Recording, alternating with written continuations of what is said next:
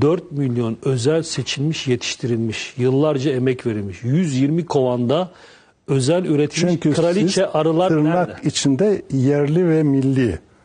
Bakın gerçekten böyle bir şey yapmaya kalkarsanız 4 milyon arı nerede ya? Bununla işte o bir 4, soruşturma 4 ne? milyon arı o arı herhangi bir arı değildi. Anadolu'dan e, devşirilen arıların döllenerek bir ırk. Özel Ka- ırk. Kafkas ırkı vardı. Değişik ırklar var arıların gücüne göre. işte ne bileyim çok farklı dünyada da arılar var. Anadolu'daki arı ırkının ıslahı ile ilgili bir projeydi o. 4 milyon arı değil. O 4 milyon arı döllenecek olan yeni ırkları oluşturmak için Avrupa'dan destek almadan yaptığınız bir çalışmaydı.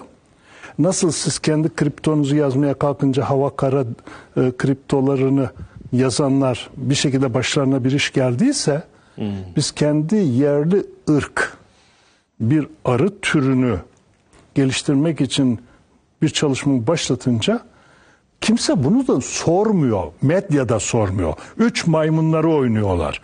Politikacısı da sormuyor. Bürokratı da sormuyor. iş adamı da sormuyor.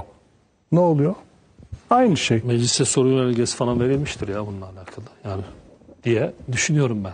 Bu arılar nerede, ne oldu, nasıl bir... Belki Kim bugünlerde o- verdilerse vermişlerdi. Biz bunu şu anda en fazla e, bizim 5G Virüs News e, de haber olarak duyurmaya çalışıyor arkadaşlar. E, Herkes aslında duydu bunu ama tabii herkesin daha ciddi işleri var.